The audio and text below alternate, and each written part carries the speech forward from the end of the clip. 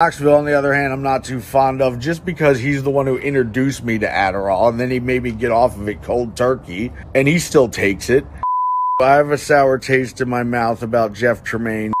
He only gave Poopies the new guy $35,000 of a movie that made $100 million in the box office. Bam Margera left a Florida recovery center and was discovered after only a few days in sobriety. The alcoholism and drug addiction past of Bam Margera is not a new topic in the skateboarding world.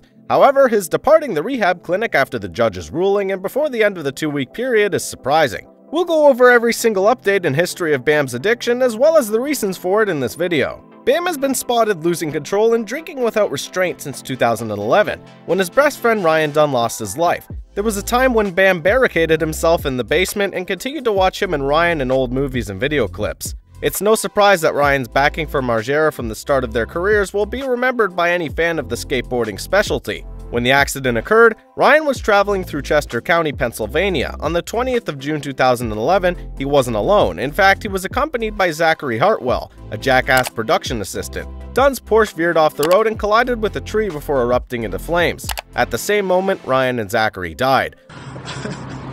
I've never lost anybody that I care about.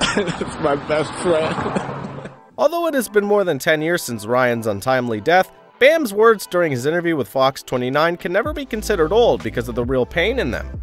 At the point of explaining the news how we got to know about Ryan's death, Bam broke down in tears saying, I was in Arizona when I heard. I was with some friends having the best time ever, and at 12.30 I just started punching out the windows of the rental van and ripping out the speakers. I don't even know why. I wasn't mad at anything or anybody, and if it was 12.30 there, that means it was exactly when he crashed. Next, as the interview got cut away, Chris O'Connell shared that Bam told him everyone in the world knew Dunn as that guy with the crazy antics and stunts in the Jackass movies, but that he knew Dunn like no one else in the world, like his brother. He will never recover.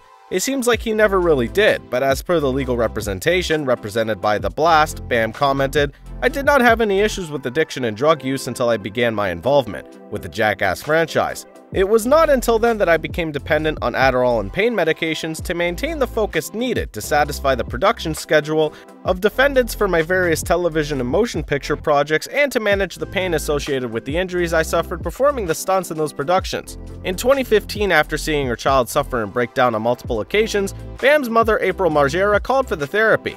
April Margera once commented, If you had told me that I would have a drunk and suicidal son at any point, I wouldn't have believed you. I worry about him every day. When he gets drunk and tells me he wants to not be here anymore, we feel this complete and utter fear. Even Phil, Bam's father, opened up about Bam's substance abuse and eating disorder on Viceland's episode Epicly Later'd, but in 2015, after agreeing with the TMZ and remaining three months sober while talking about the treatment of Dr. Jen Mann, it can be seen he was getting better. Bam's mother told the world how he became a completely different person after getting this treatment and how it was a miracle.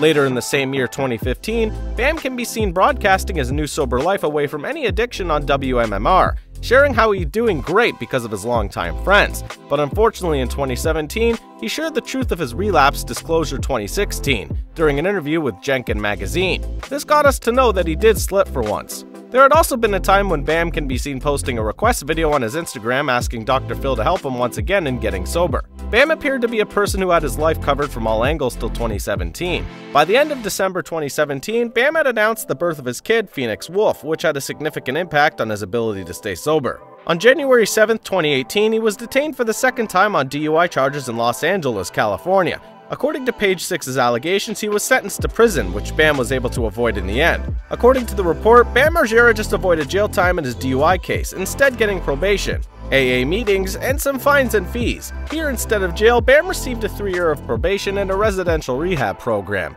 In 2019, during his rehab journey, Bam can be seen saying, Writing is one thing to do in rehab. During his previous decision of leaving the rehab center, Bam shared a picture of the handwritten written on his Instagram profile where he mentioned, I have spent enough time grieving over Ryan Dunn through alcohol. I'm 39 years old, the party is over. I don't plan on drinking anymore. I have wasted too much time at the bad, and all of my friends who needed decades of help are now all sober. I would like to join the Sober Parade. Bam Margera's newest news lists that his actions haven't yielded any favorable consequences up to now. After taking another position on the Sobriety Parade, It's no surprise that whether you're a regular person or a celebrity, you can't avoid health problems. According to a report in People magazine, Margera said he still plans to stay sober, which seems to be fully dependent on Bam's mood. But who knows what will happen the next morning, given that we've already seen people improve dramatically after striking the rock bottom. Bam met the famous tattoo artist and sober celebrity Kat Von D in 2019, when he was trying his hardest to conquer his troubles, and from there we learned about his rehab experience once more. Kat Von D captioned a photo of herself and Bam sketching a tattoo on a white pad with the caption, On day two of detoxing. I was failing to talk myself out of killing myself when a friend came over. Come on, Kat, get up and let's draw. I managed to scrape myself up somehow, find a piece of paper and whatever pencils were laying around. Bam Margera has been attempting to get back on his feet, but his efforts have so far failed. Bam can be heard fleeing the facility in defiance of the court order after receiving an order to enter rehab. According to a police complaint obtained by News Channel 8, Bam went missing after leaving the Delray Beach institution. According to the rehab manager, Bam expressed dissatisfaction with the services he was receiving and planned to transfer to a nearby rehab. According to them, Margera left in a black Honda sedan. Bam was in treatment due of a court injunction under the Marchman Act, according to the rehab center. However, according to the report, he was not a threat to anyone else. As per officer, an attempt was made to locate Margera at the redacted, but I received negative results. He was taken to Don CeSar Resort Hotel in St. Petersburg last year at a rehab facility for the same alleged disturbance and issues, as stated by TMZ. The Pinellas County Sheriff quoted, when deputies arrived, they were informed that Mr. Margera had an ex parte order, which is a judge's order for a court ordered rehabilitation.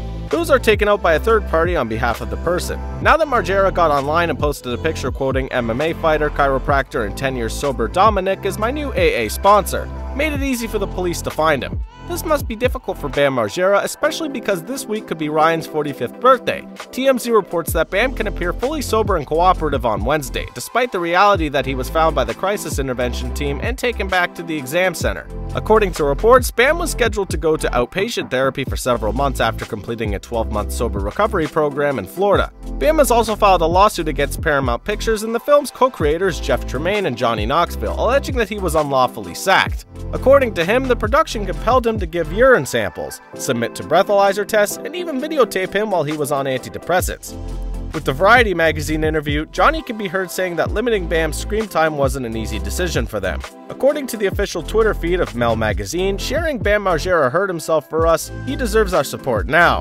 No wonder the amount of constant paparazzi surveillance and expectation pressure of the current generation does sound like a big thing, especially for the person dealing with mental issues. Even celebs like Mike Busey have been seen coming forward and tweeting about Bam's disappearance. Few minutes ago, CBS Morning officially shared the news of Bam Margera is no longer missing, police in Florida say. One of the fans commented, I hope Bam is found safely. The fact that he went missing a few days after Ryan Dunn's birthday is really sad. Bam Margera, if you're seeing this, people love you. What should he be undertaking in your opinion? Feel free to express your thoughts in the comments area.